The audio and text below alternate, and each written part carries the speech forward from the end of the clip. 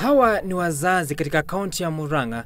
Kwa mapenzi ya wana wao, wamefika katika afisi ya usajili wa watu kutafuta vyeti vya kuzaliwa vya watoto wao, kwani shule zao zimesisitiza viwasilishwe. Shule zote kote nchini zikihitajika kuwasilisha orodha na habari muhimu za wanafunzi wote, walimu na hata wafanyakazi wengine. Siku ya Jumanne wiki ijayo ndiyo siku ya mwisho kwa kila mwalimu mkuu kulingana na makataa yaliyotangazwa na Wizara ya Elimu.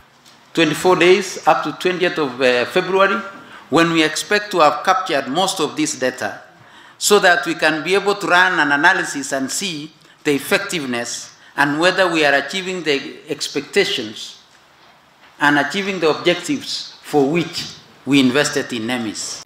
Picha kama hizi katika kaunti ya Murang'a zimekuwa desturi siku chache zilizopita, hata maeneo mengine kama Nairobi na Kiambu, na sasa ikisalia siku ya Jumatatu pekee kwa afisi za serikali kuwahudumia wazazi, huenda wengine wasipate vyeti hivyo na hivyo kuchelewa.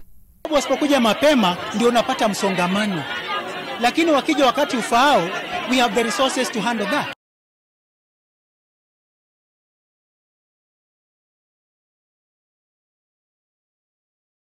Hata hivyo, katibu mkuu katika wizara ya elimu Belio Kipsang amewahakikishia wazazi kuwa yote yatakuwa shwari. Akizungumza na runinga ya Citizen kwa njia ya simu, Kipsang anasema wanashirikiana na wizara ya masuala ya ndani inayosimamia usajili wa watu kutoa vyeti hivyo. Pia Kipsang akisema kila mtoto atasaidiwa kupata nambari maalum ya usajili.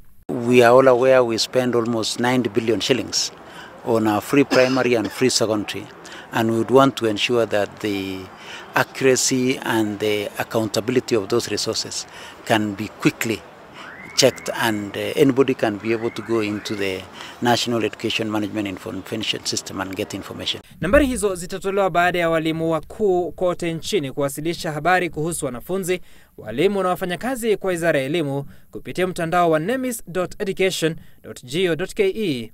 Habari hizo zikitarajiwa kutumika Wizara ya Elimu inapotoa mgao wa fedha za elimu bila malipo, vitabu huku wanafunzi wakiweza kufuatiliwa jinsi wanaendelea kimasomo na hata katika usajili wa mitihani ya kitaifa kuanzia mwaka huu. Kwa sasa mwenye nguvu mpishe.